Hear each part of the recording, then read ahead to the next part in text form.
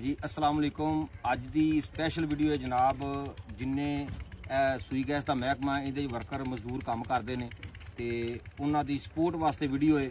ਤੇ ਜ਼ਬੈਰ ਖਾਨ ਸਾਹਿਬ ਜੇ ਤੁਸੀਂ ਸਾਨੂੰ ਸੁਣ ਰਹੇ ਹੋ ਤੇ ਮਿਹਰਬਾਨੀ ਕਰਕੇ ਇਹ ਐਗਰੀਮੈਂਟ ਕਰਵਾ ਦਿਵੋ। ਠੀਕ ਹੈ ਮਜ਼ਦੂਰ ਆਦਮੀ ਜਿਹੜਾ ਇਹ ਜਨਾਬ ਪਿਸਦਾ ਪਿਆ। ਤਨਖਾਹਾਂ ਜਿਹੜੀਆਂ ਇਹਨਾਂ ਦੀਆਂ ਉਹ ਜਿਹੜੀਆਂ ਤੁਹਾਨੂੰ ਪਤਾ ਹੀ ਹੈ ਸਾਰਾ ਕਰਜ਼ੇ ਚੁੱਕ ਚੁੱਕ ਕੇ ਜਨਾਬ ਇਹ ਪਰੇਸ਼ਾਨ ਹੋਏ ਨੇ। ਤੇ ਅਗਰ ਤੁਹਾਡੀ ਥੋੜਾ ਜਿਹਾ ਕੰਮ ਕਰਨ ਦੇ ਨਾਲ ਇਹਨਾਂ ਦਾ ਕੋਈ ਕੰਮ ਬਣਦਾ ਹੈ, ਤੇ ਮੇਰਾ ਖਿਆਲ ਤੁਹਾਨੂੰ ਦੇਰ ਨਹੀਂ ਕਰਨੀ ਚਾਹੀਦੀ। ਤੇ ਕਿਉਂ ਜੱਟ ਸਾਹਿਬ ਕਿਵੇਂ? ਹਾਂਜੀ ਹੈ ਜੀ।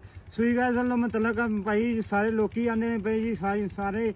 ਯਾਰ ਇਹ ਮਹਿਕਮਾ ਬੜਾ ਖਰਾਬ ਹੋਇਆ ਹੈ, ਕਿਉਂ- ਕਿਉਂਕਿ ਇਹਨਾਂ ਦੀ ਕੋਈ ਗਲਤੀ ਖਰਾਬੀ ਹੋਈ ਹੈ ਤੇ ਇਹਨਾਂ ਨੂੰ ਨਾ ਸਹੀ ਕਰਨਾ ਚਾਹੀਦਾ ਭਾਈ ਜੀ ਇਹਨਾਂ ਨੂੰ ਸਹੀ ਕਰਕੇ ਤੇ ਇਹਨਾਂ ਜ਼ੁਬੈਰ ਕੰਮ ਖਾਨ ਸਾਹਿਬ। ਜ਼ੁਬਾਰ ਸਾਹਿਬ ਕਰ ਬੋਲਣ ਰਹੇ ਨੇ। ਇਹਨਾਂ ਦਾ ਐਗਰੀਮੈਂਟ ਕਰਾਓ। ਇਹਨਾਂ ਦਾ ਐਗਰੀਮੈਂਟ ਕਰਾਓ ਜੀ ਭਾਈ। ਕਰਾਓ ਜੀ। ਤੇ ਉਹਨਾਂ ਤੇ ਦੇ ਮਜ਼ਦੂਰਾਂ ਮਤਲਬ- ਦੀਆਂ ਤਨਖਾਹਾਂ ਵਧਾਓ। ਮ- ਮਜ਼ਦੂਰਾਂ ਦੀ ਭਾਈ ਤਨਖਾਹਾਂ ਵਧਾਓ। ਮਜ਼ਦੂਰ ਤੇ- ਕਰਜ਼ੇ ਲੈ ਲੈ ਖੱਪ ਗਏ ਨੇ। ਭਾਜੀ ਮਜ਼ਦੂਰ ਕਿਹੜੇ ਨੇ ਉਹ ਖਰਚੇ ਲੈ ਕੇ ਅਹ, ਖੱਪ ਗਏ ਨੇ। ਤੇ ਮਜ਼ਦੂਰਾਂ ਦੀ ਭਾਜੀ ਅਹ, ਤਨਖਾਹਾਂ ਵਧਾਓ। ਤਨਖਾਹਾਂ ਵਧਾਓ ਠੀਕ ਹੋ। ਤੇ ਨਾਲੇ ਇਹਨਾਂ ਦਾ ਕੰਮ ਅਮ, ਚਾਲੂ ਕਰੋ ਚਲੋ ਠੀਕ ਹੋ